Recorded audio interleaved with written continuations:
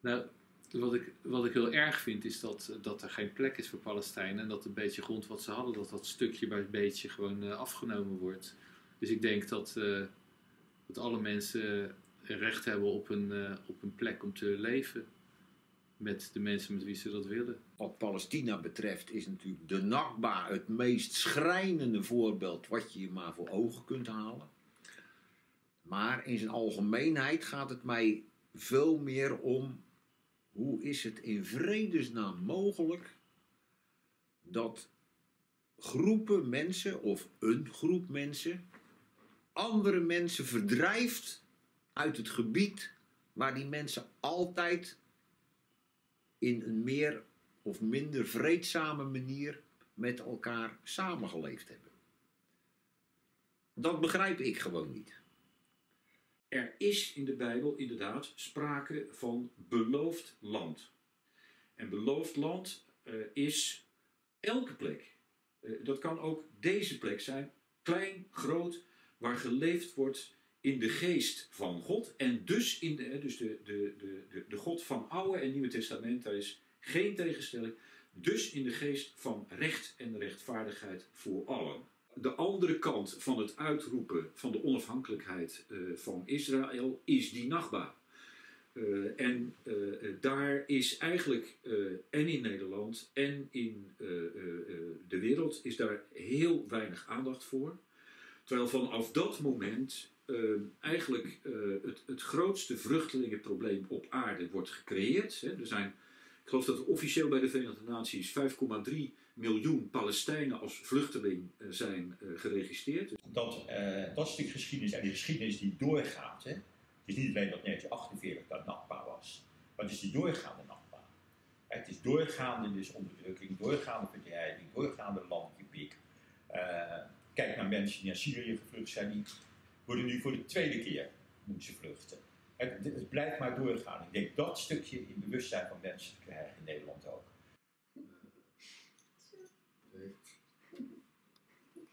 Ik, uh, ik, ik ben in Syrië geboren. Maar en mijn opa, mijn opa was uh, in uh, Palestina. Hij kon niet zo goed. hij, er, er, er waren geen scholen, denk ik. Ja, ze konden niks leren. Ja, er was oorlog. In Palestijn? Ja. Zo toch? Ik weet niet. Ik weet niet hoe ze naar Syrië gingen. Ik weet dat niet. Uh, jouw jouw uh, oma en opa en jouw de opa en oma van uh, jouw vader weggaan naar Syrië. Omdat er waren zo mensen die slecht zijn en toen zij, zij gingen met elkaar zo dingetjes maken en uh, ze van uh, andere landen pistolen gaan pakken en, en mensen uit de huis pakken en iedereen dood maken en ook die kleine kinderen omdat ze willen niet als ze groot zijn weer ook uh, meedoen aan de oorlog. Ze willen dat iedereen doodgaat en dat niemand hier blijft en dan, dan gaan ze al mensen uit Rusland en andere landen halen. En daarna weer in Palestina en, en daarna geen Palestina en Israël worden. De opa van mijn vader heeft hem verteld en hij heeft mij verteld.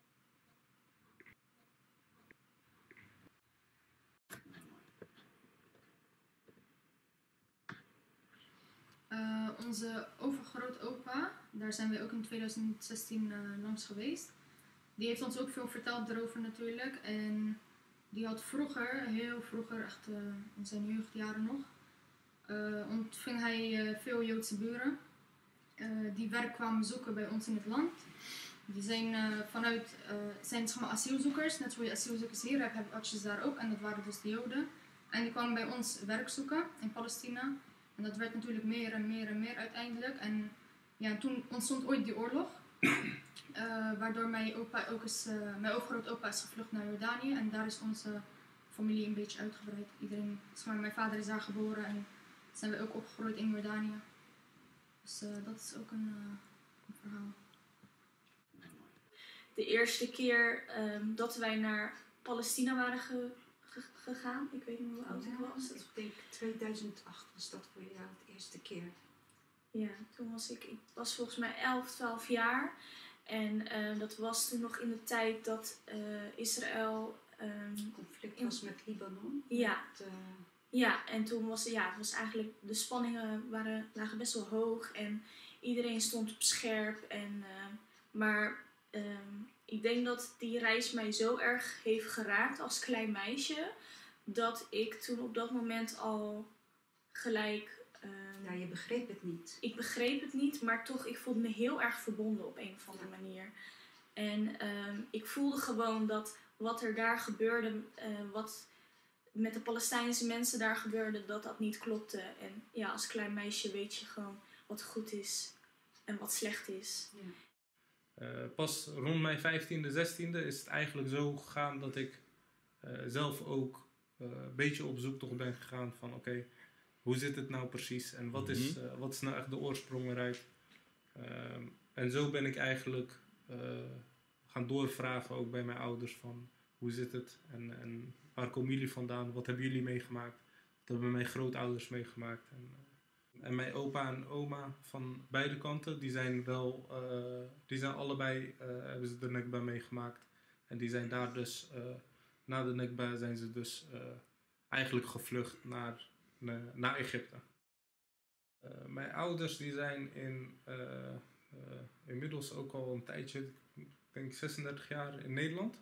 Eh, ze zijn in Palestina geboren, eh, vervolgens eh, in Egypte als vluchteling dus eigenlijk eh, opgegroeid.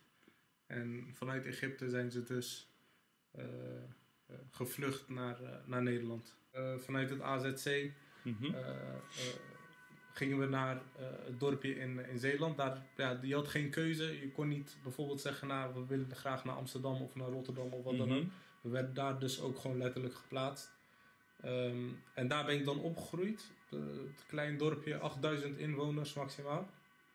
Heel weinig eh allochtonen, buitenlands. Ik denk echt op één hand te tellen hoeveel eh, allochtonen daar waren. Laat staan Palestijnen, Palestijnen al helemaal niet. Ehm, en daarbij kwam ook kijken dat eh, de Palestijnen die we kenden in Nederland, vanuit het AZC, eh, die waren ook weer allemaal verspreid. In Almere, Den Haag. Dus het, eh, het was ook heel moeilijk om het contact te blijven onderhouden, zeg maar. Ehm, dus wat ik al zeg, je gaat eigenlijk een beetje op zoek naar je eigen, naar je eigen draai. Waar pas je Mhm. bij, waar pas je Mhm. niet bij. En, Ja. en daarin ook wel een beetje, ik denk een, eh, een soort van eh, individueel persoon word je dan. Ja. Ehm, dus ja, het is eh, daarin ook lastig. Je, je bent Palestijn eigenlijk in een hele onbekende wereld waar niemand je echt, echt begrijpt. Zeker in die fase, je had natuurlijk de eerste intifada, de tweede intifada. De, de- toen het heel erg, zeg maar, aan het opborrelen was daar in, in het Midden-Oosten. Dus vanuit daar was het echt dat mijn ouders hebben gezegd: Je bent jong, we kunnen je beter gewoon. Je kan beter gewoon zeggen dat je uit Egypte komt, ondanks dat jij zelf beter weet. Eh, zij gaan het niet begrijpen. Zo was het. Dus Ja. dat, dat zorgt voor een intern conflict ook natuurlijk. Je profileert je als het ware als iemand die je natuurlijk niet bent. Ehm, en dat zorgt ook voor identiteitsproblemen. Als jij begint over de Nakba, eh, moet ik ook eigenlijk rekening houden met dat de persoon tegenover mij in zijn eigen wereld zit. Die, die heeft niet per se de, de- die heeft natuurlijk niet de, eh, de jeugd gehad die ik had. Die heeft niet de informatie gekregen die ik had. Eh, dus voor diegene is het heel moeilijk te plaatsen Ja. eh, wat er daadwerkelijk is gebeurd. Die hoort eh, van een NOS-journaal af en toe. eh, in Gaza is er, eh, is er weer oorlog gaande. Of in, Ja. eh, er zijn ra- raketten afgevuurd richting Israël, wat je heel vaak hoort. Eh, dus ik moet er heel sterk rekening houden, mee houden Ja. dat die persoon vanuit die gedachte gaat denken. En vanuit die gedachte ook een discussie gaat voeren. Ja. En vroeger vond ik dat heel moeilijk om mee om te kunnen gaan. Mhm. Dat ik dacht van, waarom begrijp je het niet? Waarom, waarom is het moeilijk voor jou om te begrijpen dat het Palestijns volk eh, niet per definitie wat hun dan vaak willen plaatsen van terroristen zijn. Hè, want dat zie je natuurlijk overal op terug. Eh, maar dat het Palestijns volk het slachtoffer is van. En ehm, dat is heel moeilijk om, ehm, om uiteindelijk over te brengen.